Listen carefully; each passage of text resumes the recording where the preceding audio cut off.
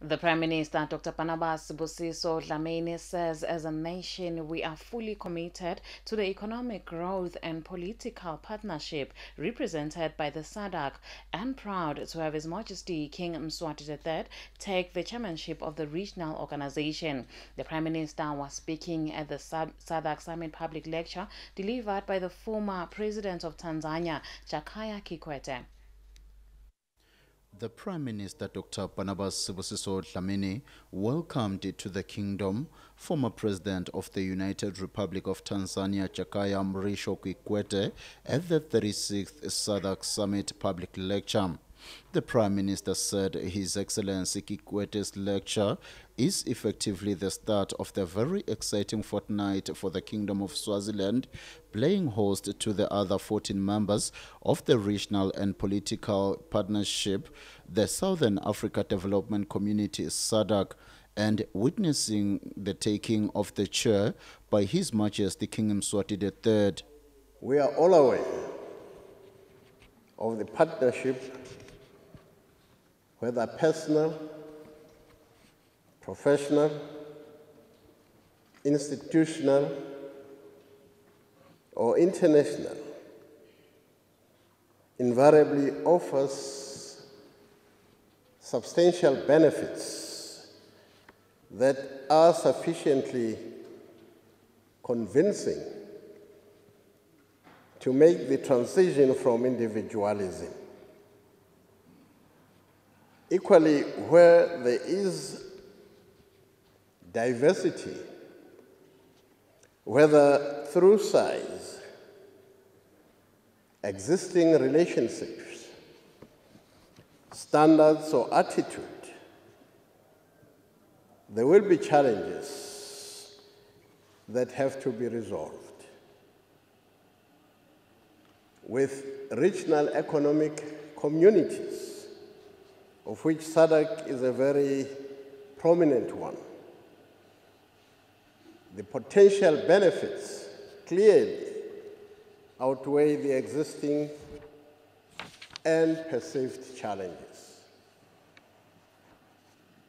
As a Swazi nation,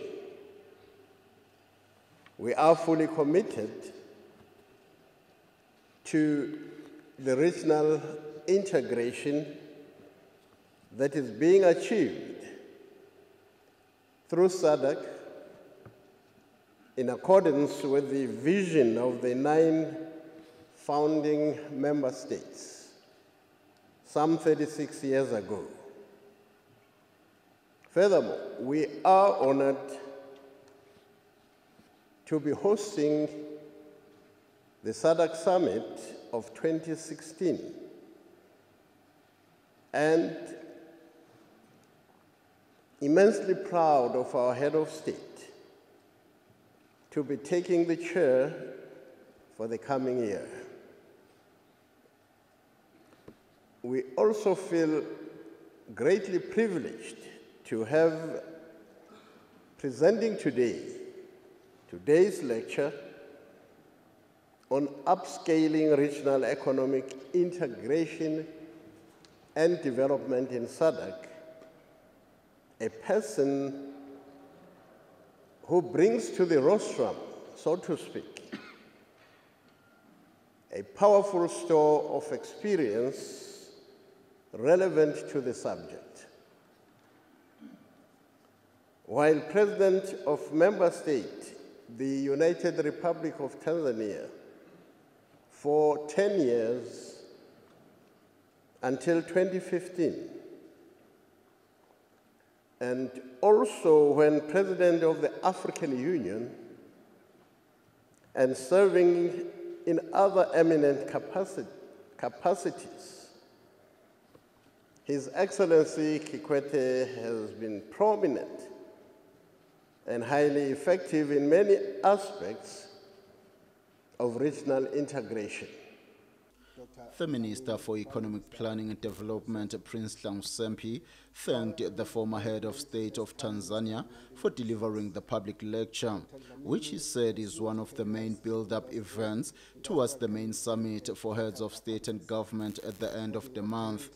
The minister said Swaziland recognizes the former president's vast experience and outstanding leadership in ensuring political and economic stability and leadership of the United Republic of Tanzania. And they are confident that his experiences will translate to the benefit of SADC in an education and enriching manner.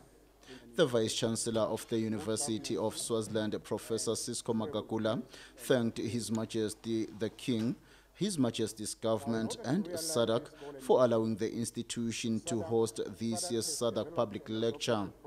Reporting for Swazi TV News, I'm Sibusiso Ngubane in Matsapha.